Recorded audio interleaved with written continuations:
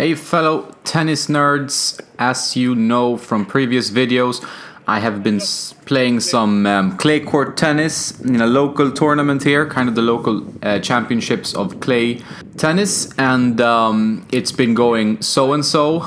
One match I'm playing pretty decently, and the uh, next match I am all off and missing on all cylinders. So it's um, it's a process to get back into competitive tennis you tense up and you start missing uh, far too much.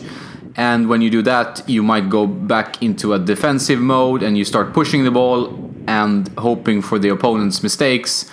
And on a certain level, that's simply not enough to win a tennis match. The one who dares the most, he wins. So I've been struggling a bit, uh, but it's been up and down. I've decided to challenge myself quite a bit by testing rackets during matches.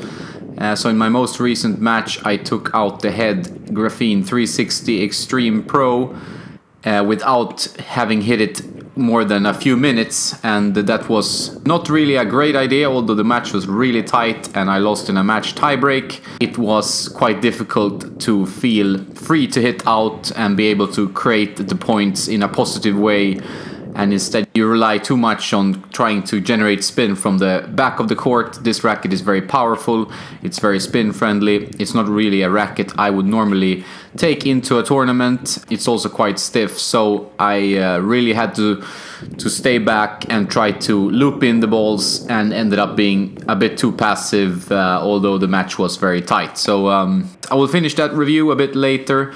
Uh, I just wanted to write some thoughts uh, and give you some opinions about this first venture into competitive play in a long time. Playing on clay courts is a quite different type of tennis than playing on hard courts, especially if you're an attacking player. You can't really hit through many opponents, so you need to be able to be patient enough to generate a lot more spin and to play with bigger margins and truly try to maneuver your opponent and um, slowly, slowly win the points instead of relying on a good serve, maybe move into the net quickly. Uh, it's very easy to get passed by good players. So uh, I've been struggling a bit trying to find my game and find my groove on uh, these clay courts. Uh, they do have some weird bounces as well uh, which uh, after you get a few of those, you start to get down on yourself. You start to complain about the court instead of being in a positive frame of mind and just pushing yourself to play better and to ignore those bounces because they happen to the opponent too.